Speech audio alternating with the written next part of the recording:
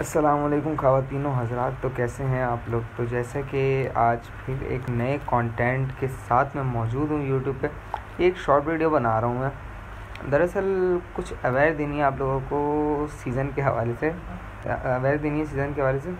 यार, ये जो अभी सीज़न चल रहा है ना, सितंबर से अक्टूबर, ये जो दिसंबर वाला सीज़न है, सर्दी वाला, ये होता है hatching season sea turtle green turtle का।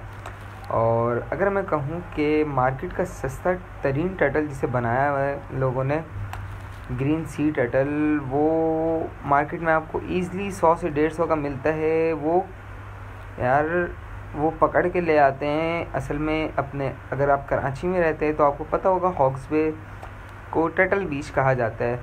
एक सीज़न होता है, उस सीज़न में टटल्स हॉक्स वे के पास आके एग लेइंग करते हैं, अंडे तो यार उस अंडों से तो यार उस अंडों से कुछ दिनों में, तकरीबन नब्बे से सौ दिनों में बच्चे निकलते हैं और उन बच्चों का क्या करते हैं लोग?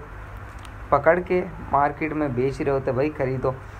और हमारी पाकिस्तानी आवाम जो है, इतनी वो है कि भाई सस्ता चीज़ जहाँ देखो यूनिक सा उठा लो।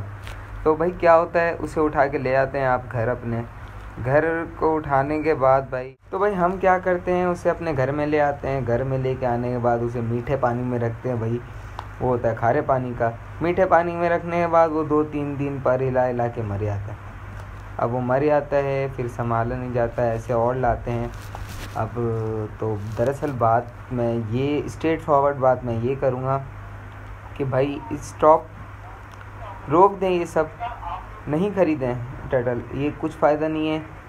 आने वाले दिनों में ऐसा होगा कि भाई, ये इंडेंजर्ड स्पीशीज़ है। आने वाले दिनों में लोग बोला करेंगे कि ये भी होती थी। तो प्लीज़ स्टॉप दिस बाइंग ऐसे कछुए नहीं ख़रीदें। मार्केट में मिलें तो उससे आप हमें कांटेक्ट करें।